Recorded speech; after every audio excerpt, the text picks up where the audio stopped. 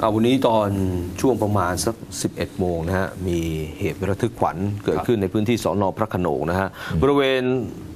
ทางลงทางด่วนฉลองรัฐตรงสุขุมวิท 50 ครับนะฮะ ก็ปรากฏว่ามีรถแก๊สเนี่ยพลิกคว่ำนะครับ เป็นรถบรรทุกแก๊ส 18 ล้อขนาด 8 ตันนะฮะ ของห้างหุ้นส่วนจำกัดสระบุรีโสภาแก๊ส พลิกตะแคงคว่ำนี่นะฮะ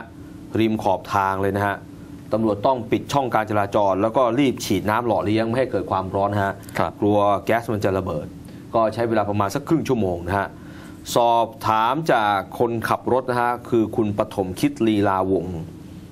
บอกว่าขับรถบรรทุกแก๊สไปส่งที่สระบุรี แล้วก็ขับย้อนกลับมาที่คลังปิโตรเลียมบางจากนะฮะจะเอาแก๊สไปส่งรอบสอง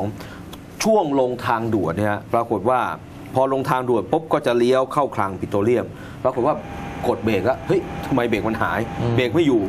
ตอนนั้นเริ่มรู้แล้วเอาละสิเบรกไม่อยู่ ก็เริ่มที่จะประคองรถลงทางด่วนมาเรื่อยๆนะฮะพอลงทางด่วนมาเจอทางแยกอยู่ข้างหน้า ซึ่งต้องเลี้ยวขวาก็จะเข้าคลังแก๊สนะฮะก็ปรากฏว่าดูแล้วเลี้ยวขวาเข้าไปเนี่ยมันจะมีสะพานข้ามคลองอยู่ กลัวว่าจะเกิดอันตราย ก็เลยตัดสินใจเลี้ยวซ้ายดีกว่า แต่ตอนนั้นเนี่ยรถมาประมาณสัก 30-40 กิโลเมตรต่อชั่วโมง ซึ่งพอเลี้ยวซ้ายปุ๊บมันก็มีแรงเหวี่ยง จนทำให้รถพลิกคว่ำอย่างนี้นะฮะ แต่โชคดีที่ว่าตอนนั้นเนี่ยมีแก๊สอยู่ในถังเหลือน้อยแล้วนะครับอืมก็เลยไม่ได้เกิดอุบัติเหตุร้ายแรงขึ้นมานะฮะครับ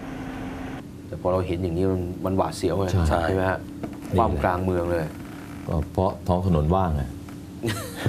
ถ้าเนี่ยพอว่างปุ๊บก็ใช้ความเร็วกันได้ใช่ไหมโอ้ลืมไปว่าขับรถแก๊ส เออคือสมมติถ้าวันนี้เป็นแบบวันที่มีรถเยอะนะมันก็ไม่คว่มันจะไปชนกันดิมันจะไปชำมันนก็กัไม่นคว่ำหรอกมันก็ซิ่งไม่ได้ มันก็จะติดติดติดติดติด